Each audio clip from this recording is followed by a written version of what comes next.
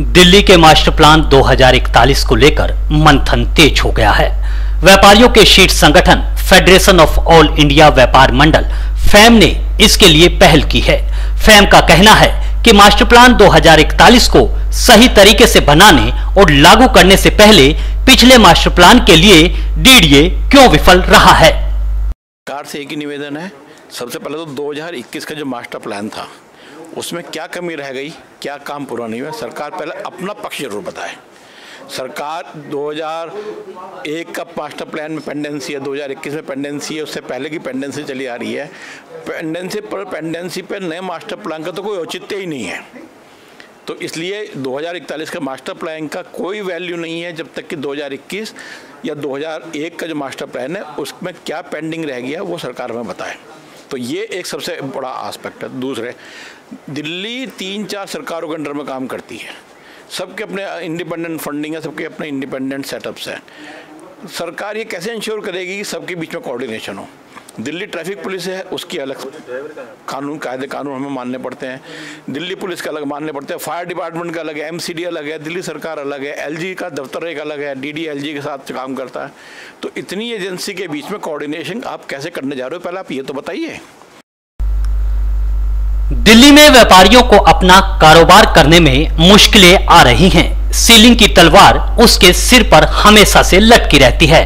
ऐसे में व्यापारियों का कहना है कि योजना बनाने वाली सरकारी एजेंसियों की जवाबदेही तय होनी चाहिए। व्यापारी को जो आज की डेट में ये समझा जाता है कि यार इससे पैसा तो ले लो, लेकिन इनको अपना गुलाम बना के रखो। ये चीज़ जो है, ये हम नहीं चाहते। एक पिक्चर बदलनी चाहिए और देश इसी तरक्की से बढ़ेगा। जब व्यापारी को इज़्ज़त मिलेगी, व्यापारी खुशी से अपना साथ देगा तो हर तरह के काम हो सकते हैं, लेकिन सरकार की इच्छा सही होनी चाहिए, उसके सोच अच्छी होनी चाहिए और उसका दूरदर्शन जो है, वो उसके आसपास के चमचे नहीं होने चाहिए, बल्कि व्यापारी वर्ग जो असल में मेहनत कर रहा है, उसको अपने कॉन्फिडेंस में लेना चाहिए। तो मैं तो ये चाहूँगा कि सरकार को ये सोचना चाहिए कि जो टाइम बाउंडिंग काम है, जिस चीज़ को आप मास्टर प्लान में लाना चाहते हैं, अगर आप उसको एक साल में करना है तो एक साल में होना चाहिए। अगर नहीं होता तो उस अधिकारियों की, उस नेताओं की ये जवाबदेही हमारे प्रति हम लोग भी उनसे पूछ सकें कि भैया ये काम क्यों नहीं हुआ? आप इसका क्या, आप इसका कैसे जानना भरोगे? आप इस देश को कैसे आगे लेके जाओगे? ये हमारा पूछने का हक भी होना चाहिए। आज ये हक हमारे पास नहीं है। जिस दिन ये हक हमें मिल जाएगा कि हम गलत आदमी के ऊपर उंगली उठा के उसको रोक सकें और उससे जवाबदेही कर सकें। सबसे बड़ी चीज़ है जवाबदेही टाइम बाउंडिंग ये चीज़ें अगर हो जाएँगी तो सरकार में भ्रष्टाचार अपने आप खत्म हो जाएगा। ये भ्रष्टाचार भी इसीलिए है कि जवाबदेही नहीं है। विश्व की रीढ़ की हड्डी कहलाने वाला व्यापारी आज तक सरकार ने किसी व्यापारी को बुला के पूछा फेडरेशन को किसी को कि भाई बताओ आपको क्या क्या सुविधा चाहिए? आज दिल्ली का मास्टर प्लान दो हज़ार इकतालीस में होने जा रहा है। अभी जो पीछे सीलिंग हुई है उस पर आज तक डी सील नहीं हो पाई।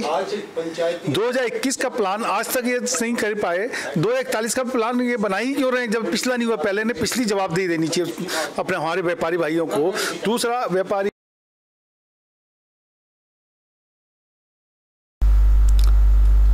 दिल्ली व्यापार का एक बड़ा केंद्र है। पुरानी दिल्ली में देश भर के कारोबारी अपना व्यापार करते हैं। लेकिन कभी ट्रैफ़िक की समस्या के नाम पर कभी दिल्ली को सुंदर बनाने के नाम पर व्यापारियों को ही निशाना बनाया जाता है। हमारा वाल सिटी का मतलब ये होता है सदर बाज़ार है, करोल बाग है, या जमुना पार्क का गांधीनगर है, शाहदरा है, जो भी क्षेत्र है, जहाँ व्यापार आज एशिया की मंडी, बड़ी मंडी कहलाता है, उसको एज इट इज़ अभी चलने दें, उसको, उसके साथ छेड़छाड़ न करें।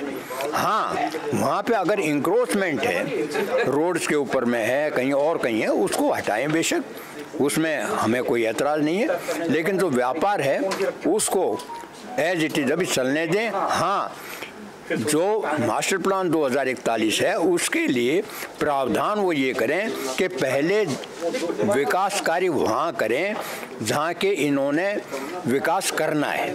उस ग्रामीण क्षेत्र की जहाँ भूमि ले रहे हैं तो पहले उन ग्रामीणों का ध्यान रखा जाए। उन ग्रामीणों के लिए पहले सारी वही सुविधाएँ दी जाएँ, जो कि एक अच्छे टाउन के अंदर में हॉस्पिटल्स हैं स्कूल्स हैं कॉलेज हैं टेक्निकल एजुकेशन है, ताकि उनके बच्चों को वहाँ रोज़गार मिलते।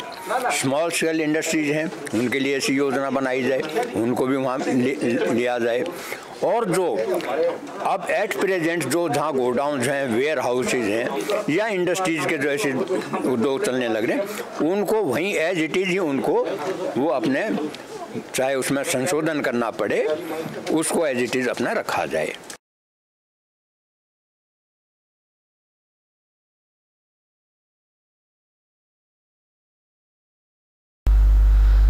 दिल्ली सुंदर बने, किस्म किस्म के व्यापार के लिए क्लस्टर बने, लेकिन विकास के नाम पर उजाड़ा ना जाए, बल्कि बसाया जाए। इसी मकसद के तहत फैम ने व्यापारियों को एकजुट करना शुरू कर दिया है। ब्रॉडकास्ट मंत्रा दिल्ली ब्यूरो